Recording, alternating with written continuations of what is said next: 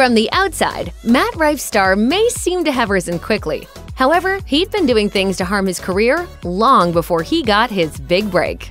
Love him or hate him, edgy comedian Matt Rife has been in the comedy circuit for almost a decade, and he gained major popularity in 2022 when one of his sets went viral on TikTok.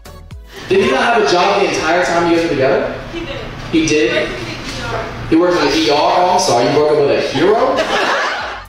After that clip hit it big, he captured the hearts of fans everywhere with his quick remarks and chiseled jawline. Before long, his phone began to ring off the hook with offers, and Jimmy Fallon even featured the comedian on his late night talk show.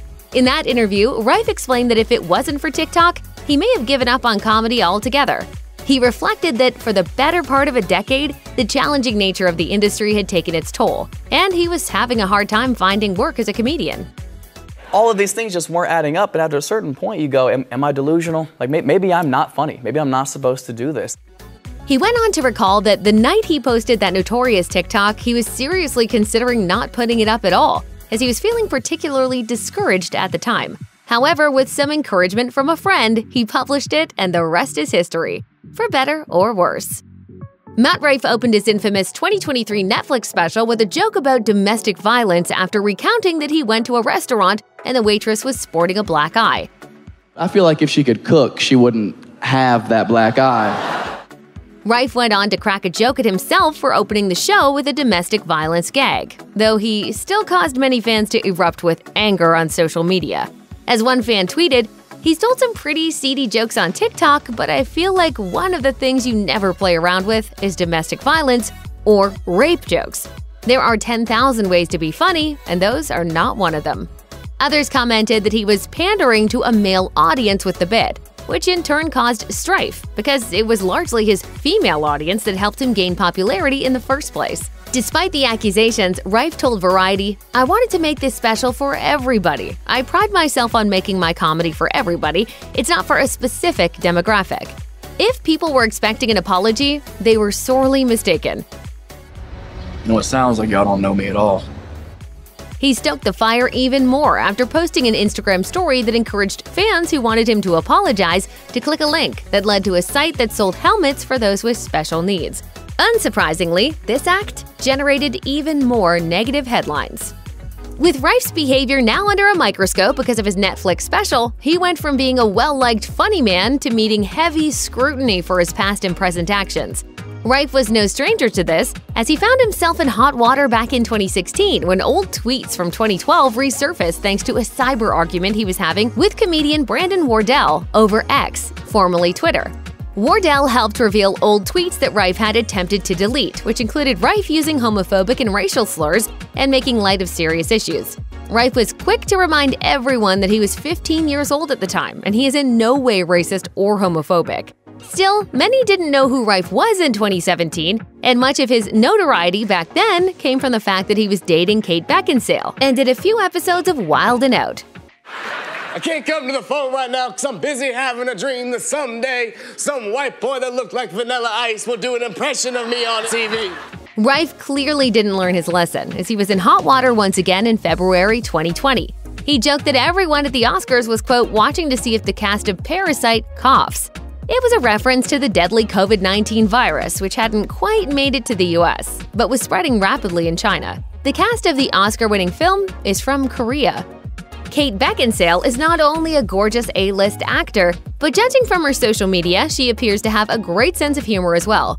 When she first began dating Matt Rife in 2017, aside from their 22 year age gap, they seemed to be a great fit. Keeping their relationship under the radar, the couple split after a year. When Beckinsale began dating another millennial comedian, Pete Davidson, in 2019, TMZ caught up with Rife outside of a comedy club to see if he had any tips for Davidson when it came to dating the star. Staring into TMZ's camera, Rife unapologetically stated, Run. Rife added that their relationship was complicated and had many ups and downs. And when asked if he'd ever get back together with Beckinsale, he barely had to think before answering in the negative. Although it took him almost four years to realize he probably shouldn't have said those things, he did eventually apologize publicly in a video for Elle. Pete, if you're out there, sorry I said that. Kate, I also apologize that I said that. I shouldn't have said that. While he was a guest on the Stiff Socks podcast with comedians Michael Blaustein and Trevor Wallace, Rife made headlines yet again for an offensive discussion, specifically about women. While most of the podcast could be considered misogynistic, one particular segment was especially inappropriate, as the three comedians made some very unsavory comments about female genitalia. In response, Metro UK featured scientist and sex educator Zoya Ali, who commented on the effects that these conversations have on women. Questioning why conversations about women's bodies and how their worth is connected to their appearance continue to be normalized, Ali observed, Billion dollar industries thrive on capitalizing on these insecurities by promoting products like vaginal tighteners, whiteners, and fresheners, promising to make one's genitalia normal. Every vulva is unique, coming in various shapes, sizes, and shades. To add insult to injury, one of Rife's former flames, Brooke Schofield, stated on the Cancelled with Tana Mongeau podcast that his insults seem to describe her anatomy specifically. He goes on to say that he um, is disgusted by outie vaginas, like girls who have outie vaginas. A lot of Matt Rife's criticism derives from those who believe he takes his female fan base for granted. Many believe that women are why Rife became popular in the first place, as he's conventionally handsome in addition to funny. Rife even named his self funded 2021 comedy special OnlyFans because his fans literally made the words Matt Rife OnlyFans a popular search on Google. While a professional decision like this might suggest he's embracing his handsome reputation, if you go down the Rife rabbit hole, you'll see quite a few bits where he claims he doesn't enjoy being attractive. I'm good looking. I don't like it any more than you guys do, okay? This is not good for comedy, okay? Possibly as a result of his angular face, Rife has been questioned about whether he's had lip filler and jawline enhancement. However, he has only come clean about getting veneers, which is quite clear as he looks radically very different in episodes of Wild and Out from the period before he got famous. On a 2015 episode of Wild and Out, Rife did less than impress as a young comedian trying to make it in LA. On the improv comedy game show, host Nick Cannon puts two groups of comedians against each other as they compete over a series of challenges. Each comedy team is led by Cannon and a celebrity guest judge. And one week, the role of guest judge was filled by none other than Zendaya. Throughout the episode, Rife was prompted to make several cringy cracks at her expense. Look, you're mixed. I want to be black. Let's make a lifestyle movie.